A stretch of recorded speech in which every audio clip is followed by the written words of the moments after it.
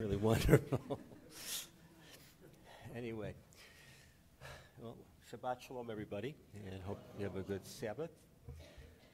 Hineni, here I am, giving of myself for others unselfishly. Each, an early year this year, both Rabbi Cohen and Rabbi Hart asked us to write, many of us, to write some kind of a little story regarding what Hineni moment was to us. Uh, Esther just said a wonderful story, and it's the one I'm going to follow with is going to be a little hard to follow, but we'll give it a try. My personal Hineni moment, I'm going to need my glasses for this one. My personal Hineni moment started when I was asked as a personal friend, as a personal favor rather, to a friend's father who had recently moved into a local nursing home.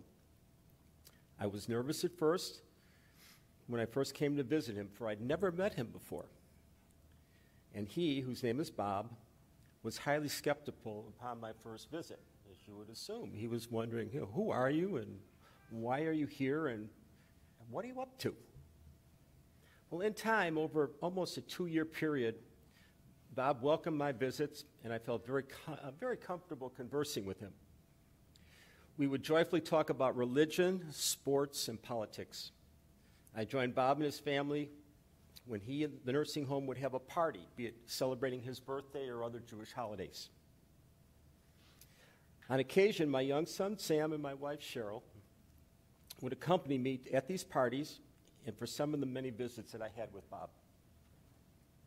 A most sad but most memorable Hineni moment occurred when I learned from his family that Bob's health had taken a turn from the worse.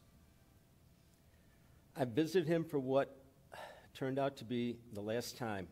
For in the hospital, there he was in intensive care. At that time, I caught him alone in a glass enclosed room. As I entered the room, I noticed he had lost some weight and he was in a semi conscious state. Yet, upon seeing me, Bob opened his eyes, cracked a smile, and has extended his hand to me. As we held hands, we quietly engaged each other for what seemed like a very long period of time. It was painful for me having to finally leave him knowing that this would be my last visit. For Bob had passed away several days later. What I learned from this experience took a while for me to realize. I just cannot express my feelings from this experience in writing. But it felt good. Good in getting to know and be friendly to a most interesting man. And good about myself that I did not shy away from this opportunity.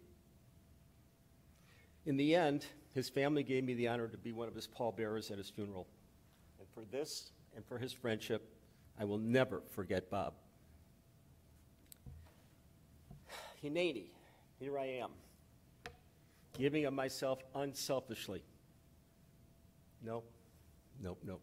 I really look at it from an opposite point of view. It's what I get from Hineni, it's what it gives me. I have found the secret to Hineni is indeed a selfish endeavor. So let me explain.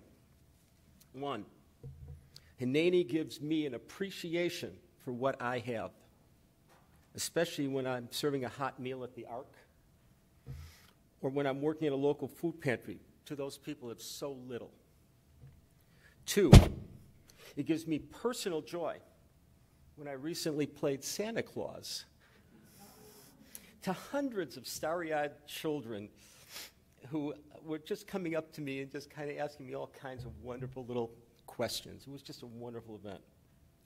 Three, Hineni gives me the appreciation of community involvement when working with others of a similar charitable interest.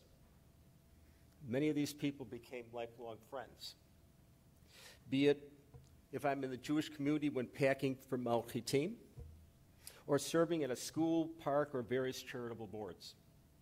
And four, Hineni gives me the selfishness of having fond memories of recalling the participation that I recently had at the Thanksgiving Interfaith service or by remembering the years of friendship that I had with Bob. appreciation, joy, community involvement, and memories.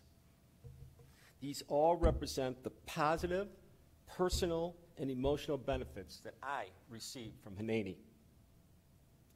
Rabbi Hart and Rabbi Cohen, thank you very much for giving me this opportunity to speak tonight. I accept it on behalf of all of those people that give of their time, and many of them I know are here tonight. So, again, Shabbat Shalom, and may God bless.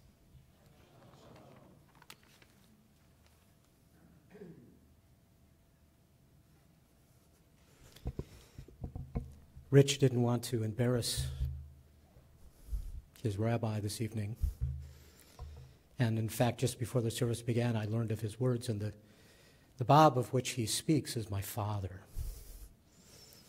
And so, a wonderful moment of, of friendship and of, uh, of connection, of, of giving, of caring, and had a very special place in my, in my dad's life. So, thank you.